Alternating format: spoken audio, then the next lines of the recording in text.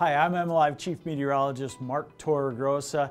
Not only do we have fascinating weather in Michigan, we have fascinating lakes surrounding us, the Great Lakes. They are big, they are powerful, and some of these waves on the Great Lakes are as big as ocean waves. For example, the biggest wave ever recorded on Lake Michigan on the south end of Lake Michigan at a buoy, 23 feet back in September of 2011. An incredible windstorm caused that. But the other lakes have big waves too. You've heard of the wreck of the Edmund Fitzgerald.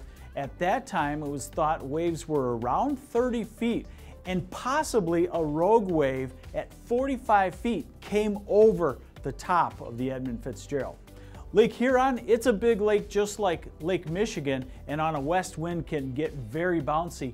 24 foot waves, the highest ever recorded on Lake Huron. Now Lake Erie is a little more shallow, but still big waves on a west wind, 13 foot waves, the highest ever recorded. And on Lake Ontario, a very small Great Lake, but deep Great Lake, and the waves can build. 25 foot waves were reported once on Lake Ontario. You know, the Great Lakes aren't oceans, but some of the captains on the Great Lakes call them the inland seas. Why? Because the waves are just as big as what you'd find on some of the oceans.